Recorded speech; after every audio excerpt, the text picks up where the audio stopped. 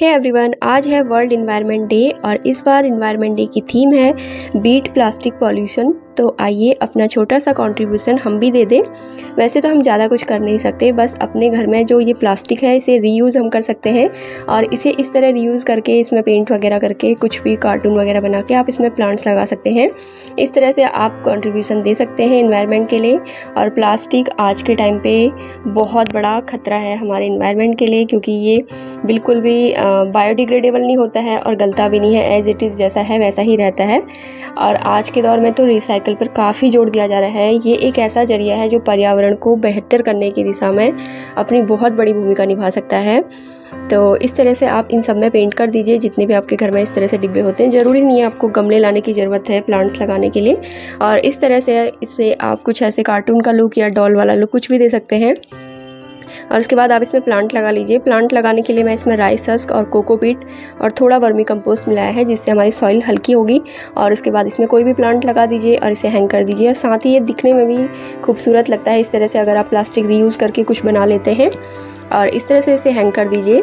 आप इसमें कलर कर सकते हैं। कलर करने के लिए मैंने इनेमल पेंट का यूज़ किया था। इनेमल पेंट काफ़ी अच्छा होता है प्लास्टिक वगैरह में, अगर आप कलर करना चाहते हैं। अगर आपके पास इनेमल पेंट नहीं है तो आप इसमें एशियन पेंट होता है जो वॉल पे करते हैं, उसे भी आप कर सकते हैं। उसे भी प्लास्टिक में काफ़ी आसानी से वो टिक जाता है और काफ़ी लंबे टाइम तक ये पॉट वगैरह अच्छे चल जाते हैं उसमें और कलर निकलता भी नहीं है और दिखने में भी ये काफ़ी सुंदर लगता है।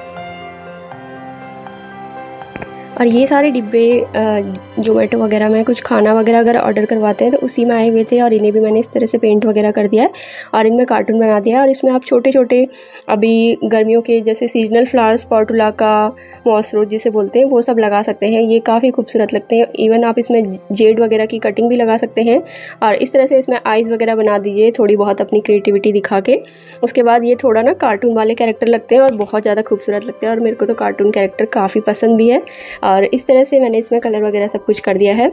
और एक बात और, आप इसमें नॉर्मल ही जो प्लांट होते हैं फ्लारिंग के या डेकोरेशन वाले एवरग्रीन परमानेंट जो प्लांट होते हैं, उसी टाइप के प्लांट लगाइए। सब्ज़ी वगैरह इसमें मत लगाइए प्लास्टिक में, क्योंकि फिर प्लास्टिक में केमिकल वगैरह भी होता है, फिर वो धूप में रिएक्ट करके वेजिटेबल्स वगैरह में, मिट्टी वगैरह में मिल जाएगा, उससे फिर आपकी हेल्थ के लिए वो हार्मफुल है। इसीलिए आप इसमें फ्लारिंग प्लांट ज़्यादा लगाइए, प्लास्टिक के जो पॉट होते हैं। और ये देखिए, इस तरह से मैंने इसमें सॉइल वगैरह डाल दिए। सॉइल के लिए मैंने इसमें राइस हस्क मिलाया है, साथ में थोड़ा बहुत वर्मी कंपोस्ट। और ये, इस पर मैं थोड़ी सी सॉइल भी डाली है, क्योंकि ये तो मुझे ऐसे ही रखना है दीवार पर बाकी अगर आपको हैंग करना है तो आप सॉइल को हल्की कर सकते हैं, जिस वजह से ये आसानी से हैंग हो जाएँगे। और इसमें मैं लगा रही हूँ मॉस रोज। मॉस रोज अभी गर्मियों का बहुत अच्छा फूल है।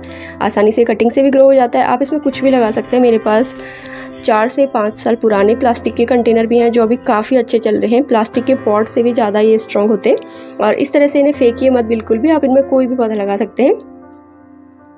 बस, उसके बाद आपको इसमें पानी डाल देना है। पानी डालने के बाद आपको जहाँ पे इन्हें रखना है, वहाँ पे आप रख सकते हैं। आप चाहें तो इन्हें एक साथ भी रख सकते हैं। जब ये थोड़े प्लांट इसमें जो लगे हैं, वो थोड़ा बड़े हो जाएँगे, फिर ये प्लांटर और भी ज़्यादा सुंदर लगेंगे। और इसमें ड्रेनेज होल करना बिल्कुल मत भूलिए, क्योंकि एक्सेस जो वाटर होगा, वो ड्रेन होना बहुत ज़्यादा ज़रूरी है। और इस तरह से मैंने इसमें प्लांट लगा दिए हैं। आप बिल्कुल भी इन्हें वेस्ट मत करिए। ये देखिए, ये मेरा चार से पाँच साल पुराना जेट का प्लांट है, इसमें लगा हुआ। और ये काफ़ी अच्छा चल रहा है। इससे मैंने बहुत सारे पौधे तैयार कर दिए हैं और मैंने यहाँ पे रखती हूँ। काफ़ी पुराने भी यहाँ पे मेरे प्लांटर्स हैं। और ये देखने में भी काफ़ी खूबसूरत लगते हैं। प्लास्टिक के पॉट से भी ज़्यादा अच्छे मुझे ये लगते हैं जो मैं रीयूज़ करके बनाती हूँ क्रिएटिविटी से। और इस तरह से आप भी बना सकते हैं। आपको कोई भी गमला वगैरह लाने की ज़रूरत नहीं है। ज़्यादा पैसे खर्च करने की भी ज़रूरत नहीं है गार्डनिंग के लिए। और एक मैंने यहाँ पे पूरा ऐसे, इसे लंबे में बनाया हुआ है। साथ में इसके ऊपर मैंने दूसरा वाला प्लांटर लगाया है।